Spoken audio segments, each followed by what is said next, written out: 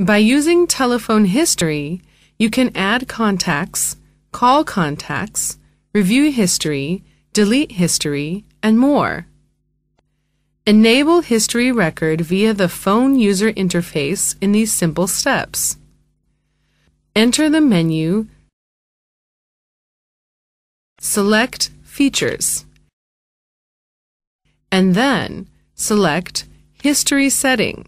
You will see a history record area.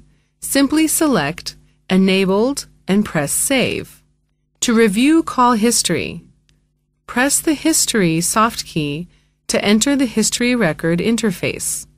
Use the left and right navigation keys to view records for numbers dialed, numbers received, no answer calls, and forwarded calls.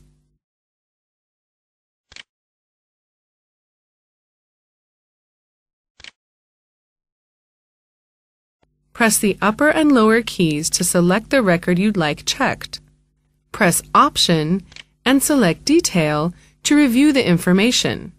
To add contacts from call history, select the desired entry. Press Option and select Add to Contacts.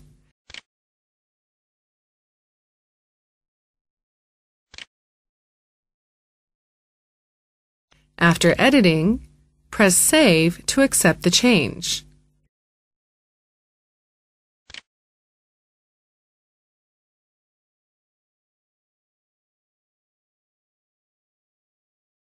To place or cancel a call from the call history, press the Send soft key to directly call the contact or press Delete to remove them from the call history.